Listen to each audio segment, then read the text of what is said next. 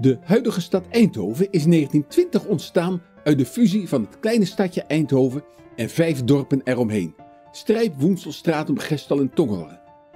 Zijn nu echt alle Eindhovense dorpen opgeheven?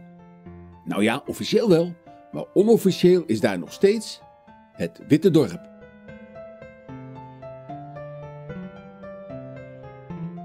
Het Witte Dorp is een bijzonder dorp en dat is het.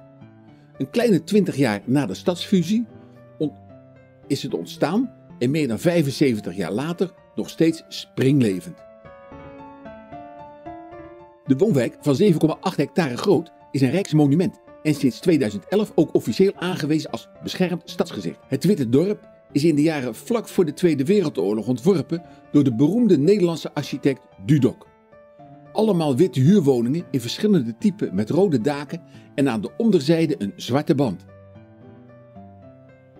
Anno 2016 ziet de woonwijk eruit alsof de huizen net zijn gebouwd. Het onderhoud is tip-top in orde en nergens springt er een huis uit door een afwijkende kleurstelling of een onelegante uitbouw. En dat is heel bijzonder als je bedenkt dat bijna alle huizen nu particulier eigendom zijn. Het had overigens maar een haar gescheeld of de wijk was in de tachtige jaren van de vorige eeuw afgezakt zoals zoveel oudere wijken overkomt.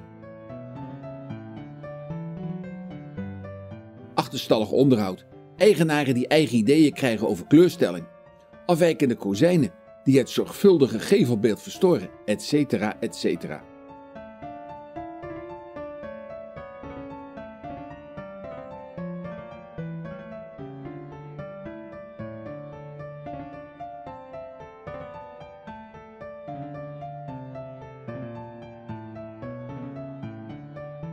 Een groep actieve eigenaar-bewoners, verenigd in de stichting Witte Dorp de Burg, heeft er jarenlang hard voor geknokt het verval te stoppen. Met een flinke financiële injectie van de gemeente voor het groot onderhoud zijn de huiseigenaren op één lijn gebracht. En daarna zijn ze op één lijn gebleven, omdat de eigenaren ontdekt hebben dat het unieke Witte Dorp een zeer geliefde woonwijk is, met een opwaarts effect op de verkoopprijs.